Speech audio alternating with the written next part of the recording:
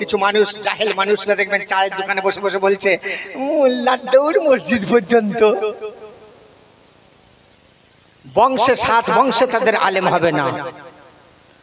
কেউ যদি এর কোনো ইমামের বা কোন আলেমের তাচ্ছিল্য করে ফেলে একবার, তার সাত বংশে কোনো আলেম হবে না। কথাটা গুরুত্ব দেবেন। সাত বংশে কেউ আলেম হবে না হবে না। আর যদি আলেমের একদিন প্রশংসা করো বাকি আর না করো একদিনও যদি কারোর কাছে আলেমের পেছনে প্রশংসা করো তো ইনশাল্লাহ তোমার সাত বংশে আলেম তৈরি হবে। জরমান সুবহানাল্লাহ। তাহলে তাহলে বন্ধুরা অনেক কষ্ট হয়। আলেম হতে অনেক কষ্ট হয়।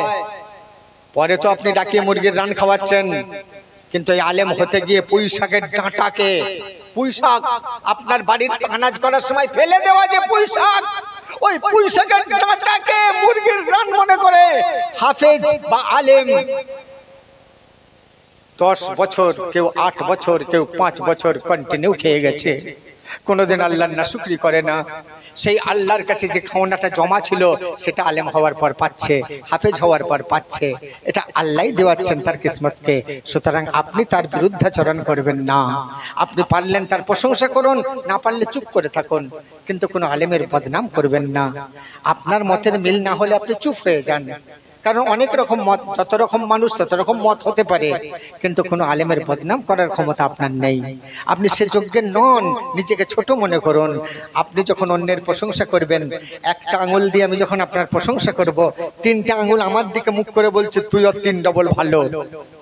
আর যখন আমি বলব, লোকটা খারাপ তিনটা আঙুল বলছে তুইও তিন ডবল খারাপ।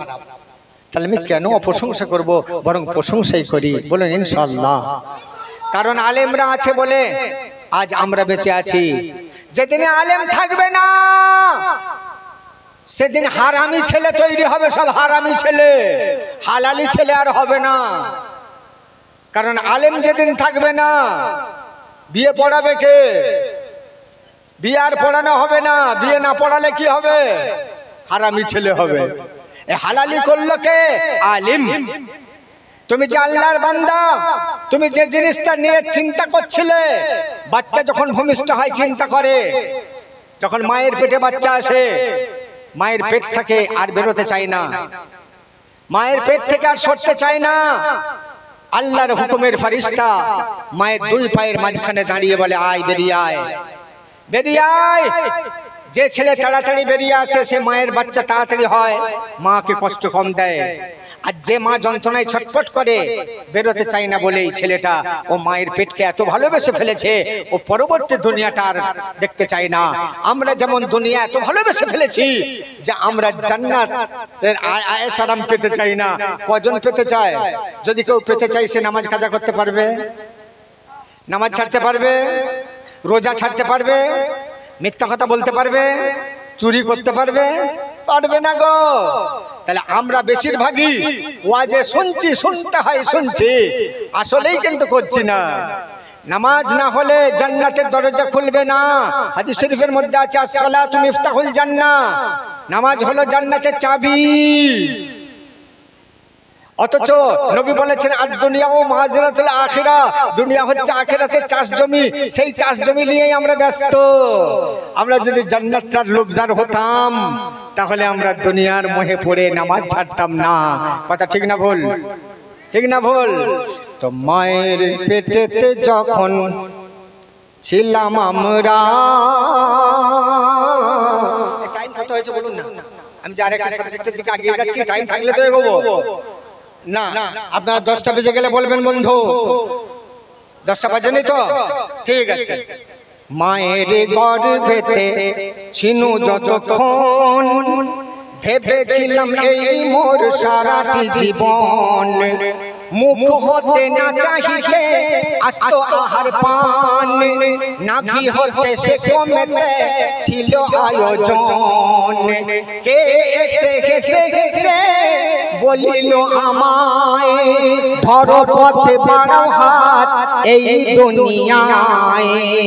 আশাতে এ ধরায় মাঝে মোর কেঁদে যায়। আশাতে এ ধরায় মাঝে মোর কেঁদে যায়। কেঁদে ভাবি সবই সত্যি রে। দশ মাস দশ দিন পরে ও মাটি রে। ওই উদরে মরণের পরে ডাকিবি সবারে। ভাবি মনে হাই হাই মনে বাবু বাবু ইকো কমাও ইকো কমাও। ইকো কমিয়ে রাখো, কারণ ইউটিউবার ভাইয়েরা মাইক্রোফোন আমার এখানে দেয়নি। কারণ আমি ভারী নিয়ে নড়তে চড়তে পারব না বলে। তাই ইকো বেশি থাকলে ওরা যখন সম্প্রচার করবে, মানুষ বুঝতে পারবে না। ইকো হালকা দিয়ে রাখো যাতে ওটা অসুবিধা না হয়।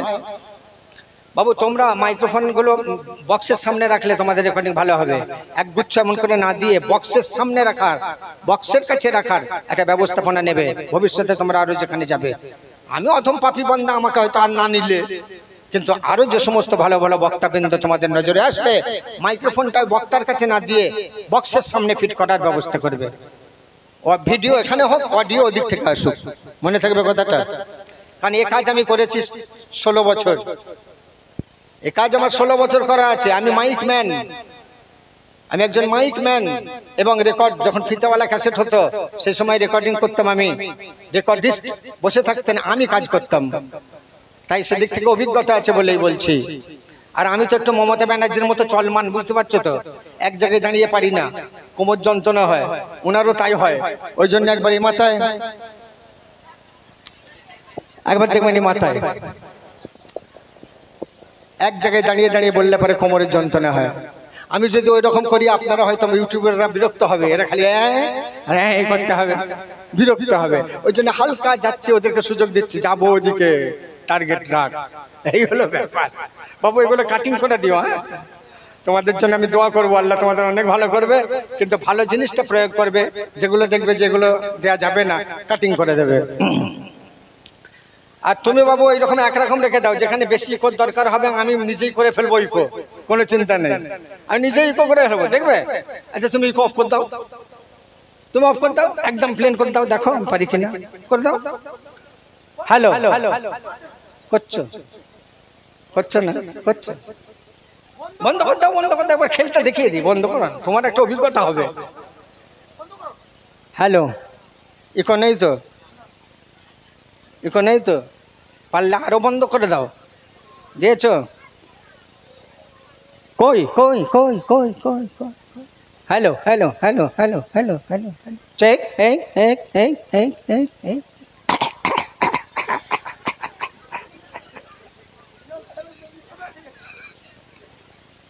जो बजेगा अंतर में वो बजेगा जंतर में। बंधो